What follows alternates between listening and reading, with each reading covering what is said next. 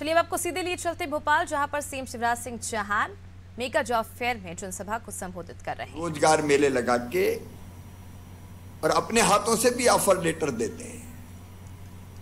रोज़गार का एक व्यापक अभियान चला हुआ है। मध्य प्रदेश में भी आप जानते हैं, एक तरफ़ अलग अलग कंपनियों में रोज़गार इन्वेस्टमेंट लगातार आ रहा है। मुझे कहते हुए खुशी है मध्य प्रदेश देश का टेक्सटाइल हब बन रहा है, ऑटोमोबाइल हब बन रहा है, फार्मा हब बन रहा है,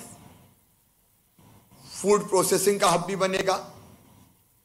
और लगातार नया निवेश मध्य प्रदेश में लगातार आ रहा है। अभी पीएम मित्र टेक्सटाइल पार्क हमको मिल गया, प्रधानमंत्री जी का आभार।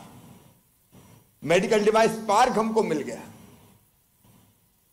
आईटी सेक्टर में हम तेज़ी से काम कर रहे हैं। तो एक तो हम जो निवेश आ रहा उसके माध्यम से रोज़गार, जैसे आज कुछ मित्रों को मिला।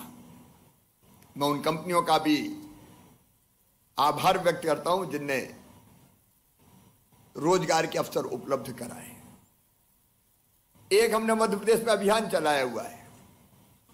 अगस्त तक एक लाख शासकीय नौकरियों के माध्यम से रोज़गार दे देंगे।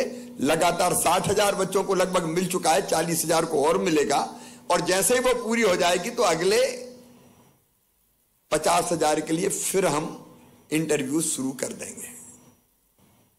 तो पढ़ाई लिखाई कर ली तो शासकीय सेवा में भी अवसर मिले, लेकिन हम जानते हैं शासकीय सेवा से सबको रोज़गार नहीं मिल सकता। एक बड़ी चीज़ है, स्किल्ड मैन पावर निवेश आएगा, उद्योग आएँगे। देखिए, एक एक चीज़ दुनिया में आप देखिए। भारत आज दुनिया की सबसे ज़्यादा जनसंख्या वाला देश है।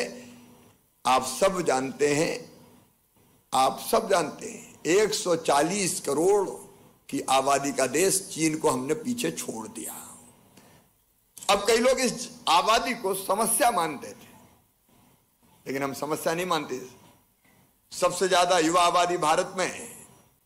हम इसी को ताकत बनाने के पक्षधर है। प्रधानमंत्री कहते हैं, इसी को ताकत बनाए। और ये ताकत बनेगी तब जब इनके हाथों में हुनर आएगा। शिक्षा के कई आयाम हैं, लेकिन एक है कौशल विकास। पढ़ने लिखने के बाद रोज़गार तो मिल जाए।